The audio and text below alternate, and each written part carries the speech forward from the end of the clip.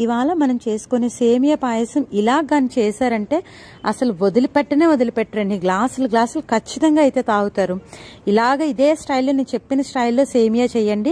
ఇది చూసారా సేమియా కూడా చూసారు ఎంత జ్యూసీ జ్యూసీగా ఉందో? ఇలా జ్యూసీ జ్యూసీగా ఉంటుంది. మనం ఎన్ని గ్లాసులన్నా కూడా తాగాలనిపిస్తుంది. అంత టేస్ట్గా ఉంటుంది. మధురంగా కూడా ఉంటుంది ఈ సేమియా. నేను చెప్పిన స్టైల్లో చేసుకోండి. చాలా అంటే చాలా బాగుంటుంది.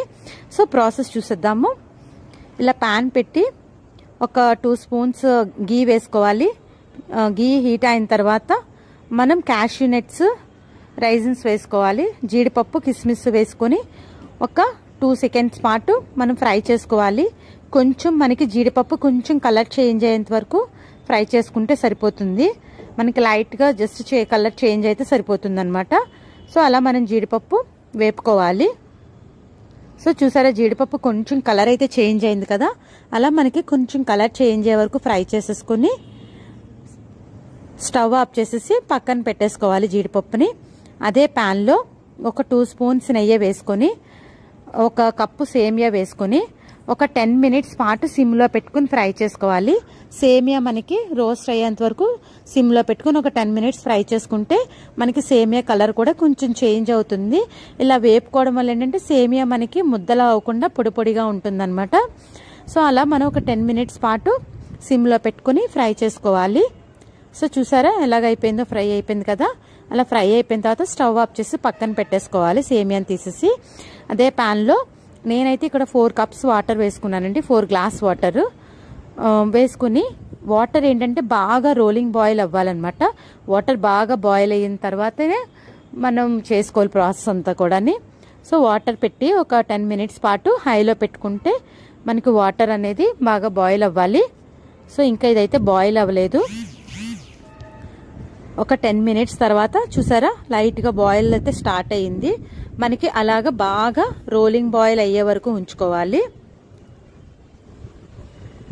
సో అలా రోలింగ్ బాయిల్ అయిన తర్వాత మనము ఒక ముప్పావు కప్పు చిన్న సగ్గుబియ్యం అండి. చిన్నది టైనీగా ఉండే సగ్గుబియ్యమే వేసుకోవాలి. పెద్దది వేస్తే టేస్ట్ బాగోదు. చిన్న సగ్గుబియ్యం వేసుకొని ఒక ఫిఫ్టీన్ మినిట్స్ పాటు సిమ్లో పెట్టుకొని కుక్ చేసుకోవాలి. మనకి సగ్గుబియ్యం బాగా ఉడకాలన్నమాట. ఎయిటీ పర్సెంట్ కుక్ కుక్ అయ్యేంత వరకు మనం కుక్ చేసుకోవాలి. ఆ తర్వాతనే సేమియా అనేది యాడ్ చేయాలన్నమాట. సో సగ్గుబియ్యం మనం అలా గరిటతో కలుపుకుంటూ సిమ్లో పెట్టేసుకొని కుక్ చేసుకుంటూ ఉండాలి. మన ఎవ్రీ టెన్ మినిట్స్కి చూస్తూ ఉండాలి. అది కుక్ అయిందా లేదో చూసుకుంటే సరిపోతుంది. సో సగ్గుబియ్యం ఉడకడానికి కొంచెం టైం పడుతుంది. ఒక ఫిఫ్టీన్ మినిట్స్ అయితే ఖచ్చితంగా టైం అయితే పడుతుంది.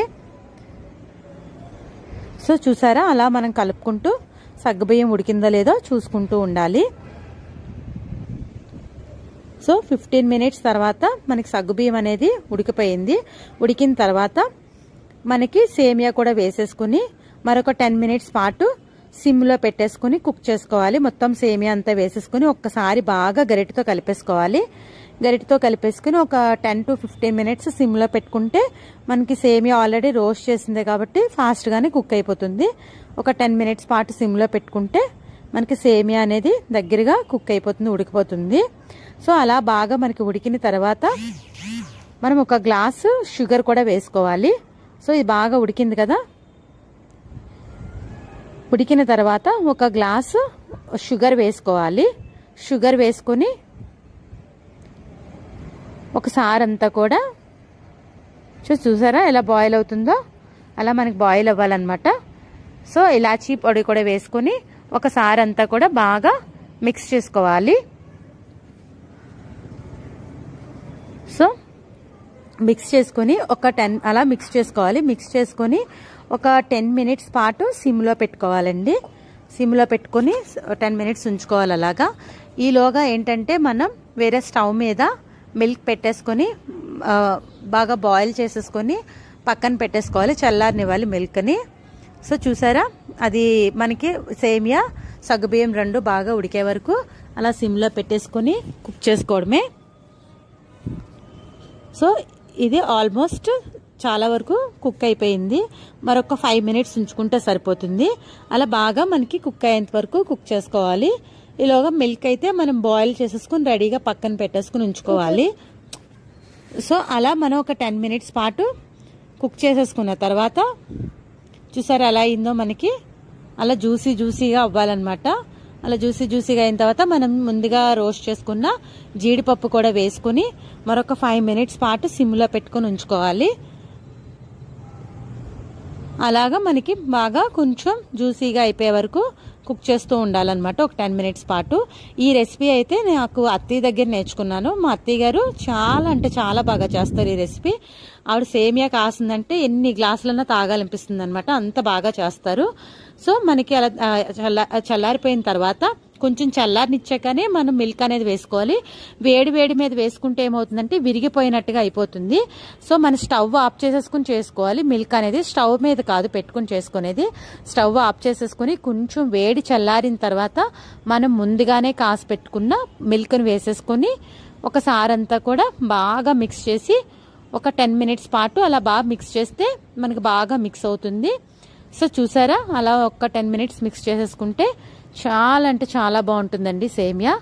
ఇంత టేస్టీగా సేమియా చేసుకోవచ్చా అని అనిపిస్తుంది. అది తాగిన తర్వాత మీకే మీరే చెప్తారు.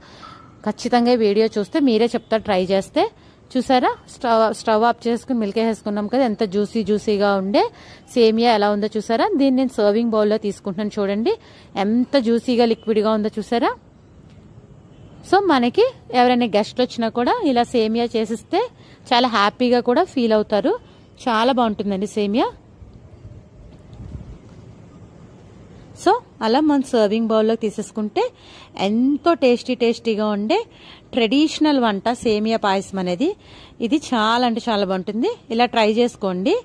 అలా మనకి ఎన్ని కప్స్లో కావాలంటే అన్ని కప్స్లో సర్వ్ చేసేసుకుని స్పూన్ వేసేసుకుని చక్కగా తాగేస్తే సేమియా చాలా బాగుంటుంది. సో సేమియా పాయసం అయితే రెడీ అయిపోయింది. మీరు కూడా ఖచ్చితంగా మీ ట్రై చేసి మీ కమెంట్స్ నా కమెంట్ బాక్స్లో తెలపండి. ఈ వీడియో నచ్చినట్లయితే లైక్ చేయండి షేర్ చేయండి సబ్స్క్రైబ్ చేసుకోండి. ఫస్ట్ టైం నా ఛానల్ చూసిన వాళ్ళైతే పక్కనే ఉన్న బెల్ ఐకాన్ క్లిక్ చేయడం మర్చిపోవద్దు. మరిన్ని అప్డేట్స్ కోసం